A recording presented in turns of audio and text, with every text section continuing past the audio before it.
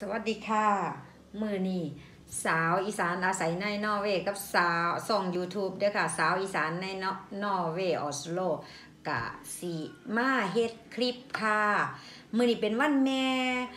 เพชรก็ขออวยพรให้ทุกคนทุกเพื่อนทุกผู้ทุกคนพ่อแม่พี่น้อง ให้มีแต่ความสุขความเจริญ คิดสิ่งใดก็ขอให้สมหวังเด้อค่ะ คลิปนี้ ข่อยกับสิมาเฮ็ดเพื่อแม่วันแม่โดยเฉพาะค่ะสิมาสายแน่ก็บ่เป็นหยังเด้อค่ะ วันแม่ก็คือเก่านั่นแหละค่ะ ทุกมือทุกมือก็เป็นวันแม่ข่อยก็สิบอกแม่ขอยคิดฮอดเจ้าหลายเด้อฮักเจ้าหลายเด้อฮักแห้งแห้งคิดฮอดน้ำพอม ถึงแม้ว่าถึงแม้ว่าบ่ได้ไปหาบ่ได้ไปเกี่ยกราบแทบเท่าแต่ให้เจ้าฮู้ว่า ลูกคนนี้ก็ยังคิด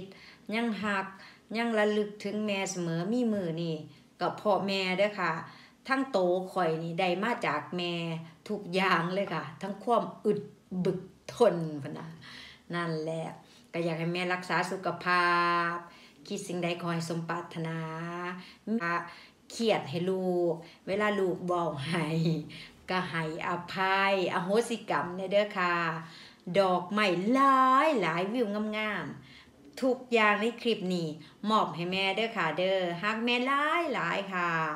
จากลิงลิง จากวิลเลียม จากเฟดริกเด้อค่ะ ปีนาเจอ